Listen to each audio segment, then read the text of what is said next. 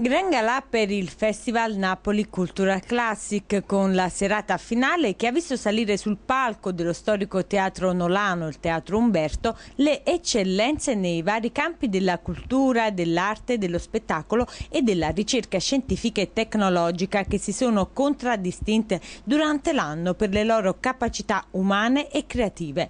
Ai nostri microfoni il presidente dell'Associazione Napoli Cultural Classic, l'avvocato Carmine Ardolino e tra i premiati la giornalista del TG1 Laura Chimenti. Un bilancio positivo, un premio festival che conclude veramente alla grande e una prima serata dedicata ovviamente alla sezione letteratura con eh, veramente grossi personaggi della cultura nazionale come scrittori come Claudio Volpe ed Edoardo Savarese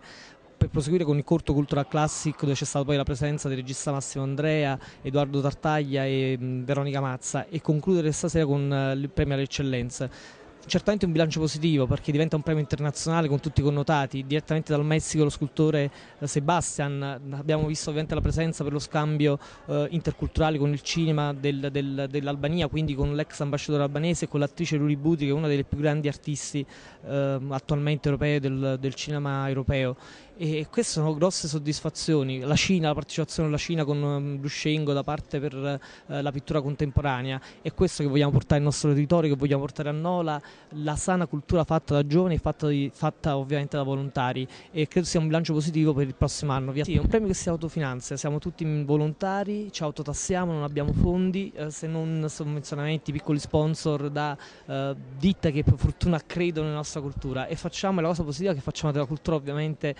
internazionale che non si ferma al logo perché secondo me lo scambio culturale è importante. Uh, invitiamo a vedere questo premio, a vedere le nostre attività su www.culturalclassic.it che è il nostro sito, che è un giornale online vero e proprio, per capire quello che facciamo e rendervi partecipe perché poi è un'associazione che è aperta a tutti, quindi a tutte le novità, a sostegno dei giovani talenti, alle borse di studio. Noi ci siamo, fateci sentire perché è il premio di tutti. È sempre una grande emozione perché poi siamo sempre